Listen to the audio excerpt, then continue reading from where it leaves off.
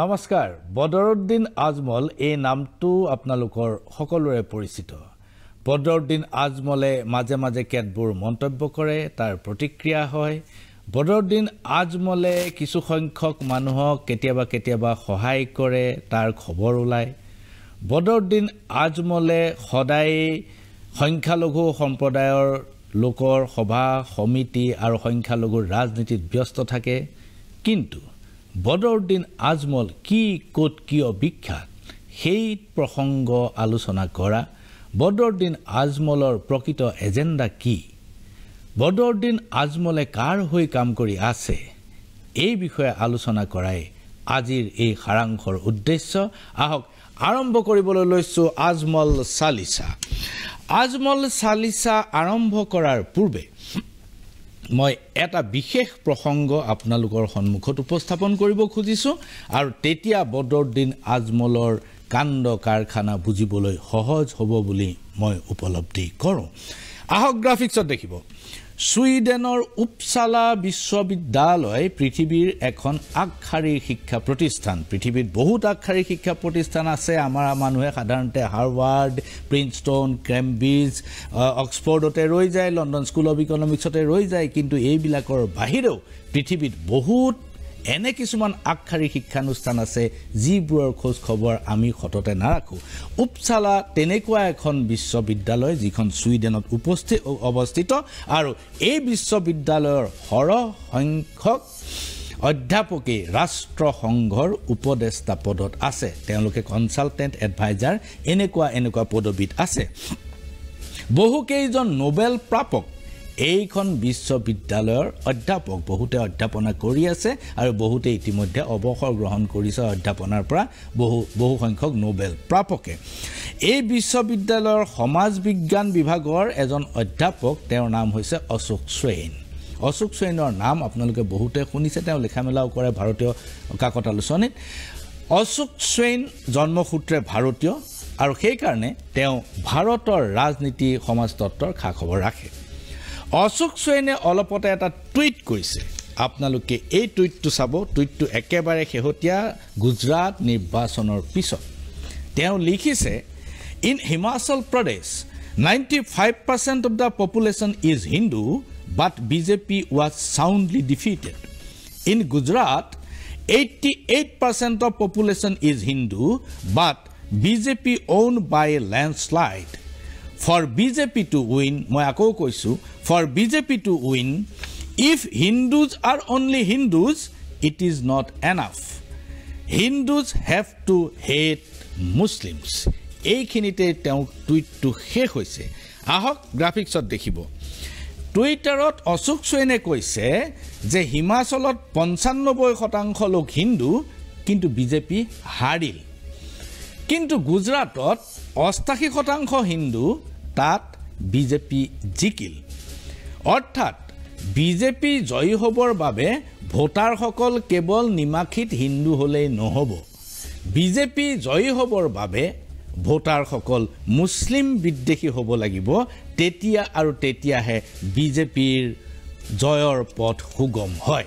এইখিনি কথা মই কোৱা নাই। এইখিনি কথা উপচালা বিশ্ববিদ্যালয়ৰ সমাজতত্ব বিভাগৰ অধ্যাপক ভাৰতীয় মূলৰ অশোক চুৱেইনে কৰা টুইটৰ পৰা মই কৈছোঁ।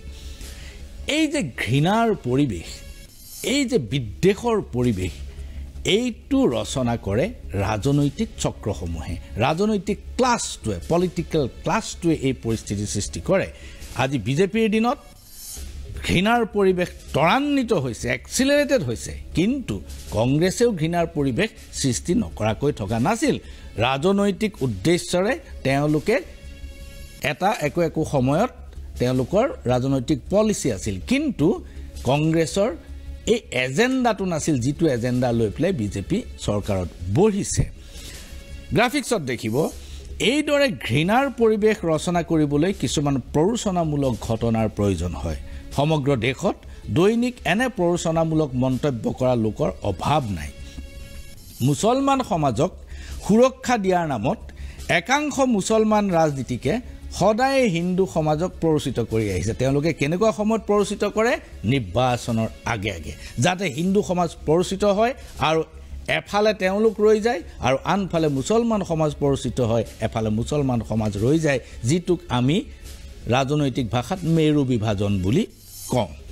বিপৰীতে হিন্দুত্ববাদীসকলৰ একাংশয়ো নিয়মিত মুছলমানৰ বিৰুদ্ধে ঘৃণাৰ প্ৰচাৰ চলাই আছে। যেনেকৈ ক'ভিড যেতিয়া আৰম্ভ হৈছিল তেতিয়াও সেই তকলিবি জামাতত দায়ী কৰা হৈছিল। বেমাৰৰ বাবেও মুছলমানক দায়ী কৰা হয়। এনেকুৱা ধৰণৰ পৰিস্থিতি ভাৰতত হৈছিল। অথচ আজিলৈকে সেই তকলিবি জামাতৰ নেতাজনক আজিলৈকে গ্ৰেপ্তাৰ কৰিব পৰা নাই। আজি তিনি বছৰ হ'ল। যিসকল মুছলমান নেতাই অহৰহ প্ৰৰোচনামূলক মন্তব্য কৰি আহিছে তাৰ ভিতৰত হায়দৰাবাদৰ আছাদুদ্দিন ঔৱেচি অন্যতম। তেওঁৰ নাম সকলোৱে জানে। তেওঁ আজিকালি গোটেই পৃথিৱীতে বিখ্যাত। কেৱল এটা কাৰণেই তেওঁ অহৰহ ঘৃণাৰ বাণী প্ৰচাৰ কৰিছে হিন্দুসকলক পৰিচিত কৰিছে আৰু প্ৰাকে প্ৰকান্তৰে চৌব্বিছ ঘণ্টাই তেওঁ বিজেপি দলক সহায় হোৱাকৈ সকলো কাম কৰি আহিছে। বিগত বিহাৰ নিৰ্বাচনত বিহাৰত তেওঁ আশীখনৰো অধিক আসনত অ' এ চি দল A I am I am প্ৰতিদ্বন্দ্বিতা কৰিছিল। অ' এ চিৰ বিছখন আসনত অ' এ চিৰ দলে বিছখন আসনত বাৰশৰ পৰা দুহেজাৰ এশ পৰ্যন্ত ভোট পালে। তাতকৈ বেছি নাপালে। আৰু এই আসনবোৰত এই গোটেই আসনবোৰত অ' এ চিয়ে যে বাৰশৰ পৰা একৈছশ ভোট পালে এই আসনবোৰত মহাগঠবন্ধন অৰ্থাৎ বিজেপি বিৰোধী জোঁট যিটো আছিল সেই জোঁটটোৱে অতি কম সংখ্যক ভোটত পৰাজিত হ'ল। প্ৰতিটো সমষ্টিতে অতি কম কম মাৰ্জিনত তেওঁলোক পৰাজিত হ'ল। এয়া হৈছে আছাদুদ্দিন ঔৱেচিৰ কৃতিত্ব তেওঁৰ প্ৰৰোচনাৰ এয়া ফলাফল। ঔৱেচিৰ দলৰ প্ৰতিদ্বন্দ্বিতাই মহাগঠবন্ধনক ক্ষতি কৰিলে বেছি আৰু লাভ কৰিলে বিজেপিৰ। এইদৰে প্ৰৰোচনামূলক পৰিস্থিতিৰ সৃষ্টি কৰা আনজন ব্যক্তি হৈছে আমাৰ সকলোৰে পৰিচিত বদৰুদ্দিন আজমল স্বয়ং। এওঁৰ কথা কাণ্ড ৰাজনীতিকে ৰাজনীতিয়ে মুছলমান সমাজক উপকাৰ কৰাৰ কোনো নজিৰ নাই। আজি পৰ্যন্ত দুহেজাৰ পাঁচ চনৰ পৰা দুহেজাৰ বাইছ চন পৰ্যন্ত কাৰোবাৰ বেমাৰ আজাৰত সহায় কৰা কাৰোবাক শিক্ষাদানত সহায় কৰা অথবা পানী জাৰি দিয়াৰ বাহিৰে ৰাজনৈতিকভাৱে মুছলমান সমাজৰ সুৰক্ষা দিয়াত এওঁ কি কৰিছে তাক কোনেও নাজানে। বৰঞ্চ ব্যৱসায়ৰ স্বাৰ্থতেই হওক অথবা অন্য কিবা কাৰণতেই হওক আজমলৰ ৰাজনীতিয়ে সদায়েই শাসকীয় পক্ষক সহায় কৰি আহিছে। এতিয়া আহক আজমল কি ক'ত কিয় বিখ্যাত তাত অলপমান অৱলোকন কৰোঁ। এইটো টিপ অফ দ্য আইচবাৰ্গ মই কেৱল মাত্ৰ সামান্যহে ক'ব পাৰিম কাৰণ ইমান এজন অভিজ্ঞ আৰু বয়সস্থ ব্যক্তিৰ প্ৰতিটো কথাই এই চমু সময়ৰ ভিতৰত কৈ দিয়াটো সম্ভৱ নহ'ব। গ্ৰাফিক্সত দেখিব। ঊনৈছশ চনৰ বাৰ ফেব্ৰুৱাৰীত বৰদুদ্দিন আজমলৰ জন্ম। জন্মস্থান অবিভক্ত নগাঁও জিলাৰ হোজাই অঞ্চলৰ আলিনগৰ গাঁৱত। সেই হিচাপত বদৰুদ্দিন আজমলৰ বৰ্তমান বয়স বাসত্তৰ বছৰ। উত্তৰ প্ৰদেশৰ দেওবন্দৰ দাৰুল উলুম মাদ্ৰাছাত তেওঁ ইছলামিক শিক্ষা গ্ৰহণ কৰিছিল। দাৰুম উলু দাৰুল উলুমৰ পৰা ঊনৈছশ পঁয়সত্তৰ চনত কাজিল ই দেওবন্দ। এই ডিগ্ৰী তেওঁ লাভ কৰিলে। এই ডিগ্ৰীটো অৰ্থাৎ স্নাতকোত্তৰ ডিগ্ৰী লাভ কৰিলে তেওঁ। ধৰ্মীয় শিক্ষা থিঅ'ক্ৰেটিক যিবিলাক থিঅ'লজিকেল যিবিলাক শিক্ষা এই শিক্ষাত তেওঁ পঁয়সত্তৰ চনত কাজিল ই দেওবন ডিগ্ৰী লাভ কৰে স্নাতকোত্তৰ ডিগ্ৰী লাভ কৰিলে। পিতৃ প্ৰয়াত হাজী আজমল আজমল আলী হাজী আজমল আলী সুগন্ধিৰ ব্যৱসায় আছিল আগৰ পৰা। এই যে আঁতৰৰ ব্যৱসায় এই আঁতৰৰ ব্যৱসায়ত তেওঁ যোগদান কৰে। দেওবন্দৰ দাৰুল উলুম মাদ্ৰাছাত যি শিক্ষা লাভ কৰিছে তেওঁ সমাজৰ মূল সুঁতিৰ শিক্ষাৰ পৰা বহুত দূৰৈত। এই কথাটো মই আপোনালোকক কৈ ৰাখিলোঁ। তেওঁলোকে ধৰ্মীয় শিক্ষা লাভ কৰে কিন্তু আপোনাৰ মোৰ দৰে যিবোৰ স্বাভাৱিক মূল সুঁতিৰ শিক্ষা সেই শিক্ষাৰ পৰা তেওঁলোক বঞ্চিত হয়। তেনেধৰণৰ মূল সুঁতি শিক্ষা বঞ্চিত এজন মৌলানা হৈছে বদৰুদ্দিন আজমল। হাজী আজমল আলীৰ সুগন্ধিৰ ব্যৱসায় আছিল আৰু এই সুগন্ধিৰ ব্যৱসায়ত আজমলে বদৰুদ্দিন আজমলে যোগদান কৰিলে আৰু লগতে যিহেতু তেওঁ ধৰ্মীয় শিক্ষা লাভ কৰি আহিছে ধনী মানুহৰ ঘৰৰ ল'ৰা এতেকে তেওঁক জমিয়ত উলেমাৰো ৰাজ্যিক কাম কাজত তেওঁ জড়িত হৈ পৰে। পিতৃ হাজী আজমল তেখেতক মোৰো লগ পোৱাৰ সৌভাগ্য হৈছিল এবাৰ।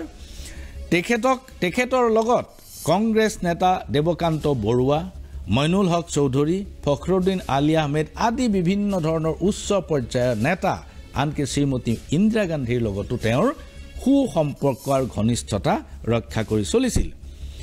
কিন্তু সেই সময়তো বদৰুদ্দিন আজমল সুগন্ধি বেপাৰী হিচাপেহে খ্যাত আছিল।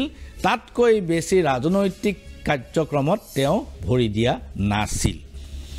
আজমলৰ ব্যক্তিগত সম্পত্তিৰ মূল্য আঠসত্তৰ কোটি টকা। ব্যক্তিগত সম্পত্তিৰ মূল্য আঠসত্তৰ কোটি টকা। অৰ্থাৎ এই কথাটো মই ক'বলৈ যোৱা নাই যে আজমল এণ্ড কোম্পানীৰ আজমল পৰিয়ালৰ কিমান সম্পদ আছে সেইখিনিৰ বাহিৰত এইখিনি টকা।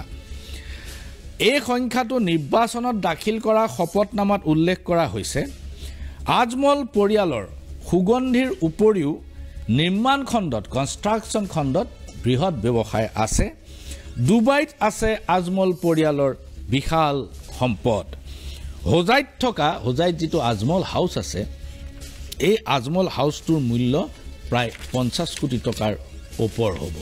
মই অলপ কমেইহে ধৰিব ধৰিছোঁ পঞ্চাছ কোটিৰ ওপৰ হ'ব। বাছকান্দিৰ মৌলানা আহমেদ আলী জীৱিত অৱস্থাত বদৰুদ্দিন আজমলে জমিয়তত বৰ বিশেষ প্ৰভাৱ বিস্তাৰ কৰিব পৰা নাছিল। এতিয়া মই এটা নতুন নাম ক'লোঁ আপোনালোকৰ সন্মুখত বাছকান্দিৰ মৌলানা আব আহমেদ আলী।